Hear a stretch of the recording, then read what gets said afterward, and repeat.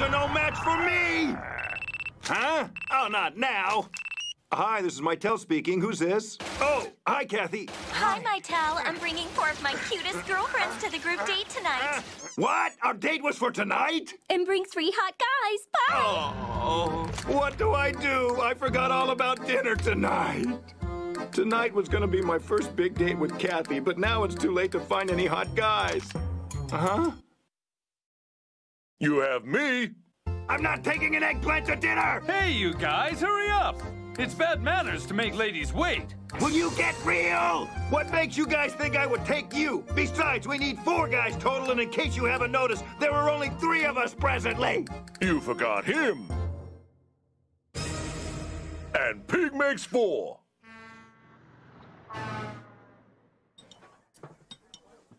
Are you sure the guys coming tonight will be hotties? You bet. Hey, what's that sound? Dad! Touchdown! You played no defense! How can you let him just score like that? What? What? We made a huge impression. Party, party, party, party, party! Oh, my bath is ready. Would you loofah my back? You'll have to wait for my nails to dry first. Last one in's a rotten egg. We're leaving. Goodbye. Don't call me ever again. I can explain everything. Wait!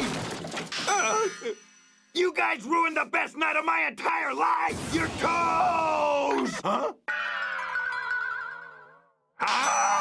We, the students of Bobobo's Head, which makes us the head of the class, are proud to graduate today. We could not have done it without you, our wonderful teacher, Mytel.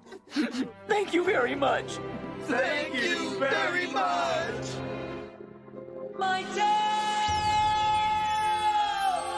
What? Are you talking about me? We love you, teacher. Thank you for all you've done for us. I've never been so touched. Fist of Nose Hair. Sorry, but those students' praise of glory was not for you. Teacher, goodbye! Teacher, goodbye!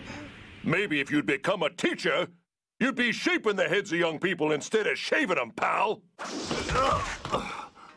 Now return beauty to me once and for all. Who is Beauty? Don't play dumb. Beauty's the girl that Tarashi kidnapped and brought to your hideout. I didn't order Tarashi to kidnap her.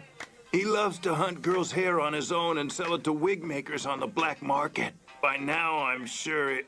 Oh.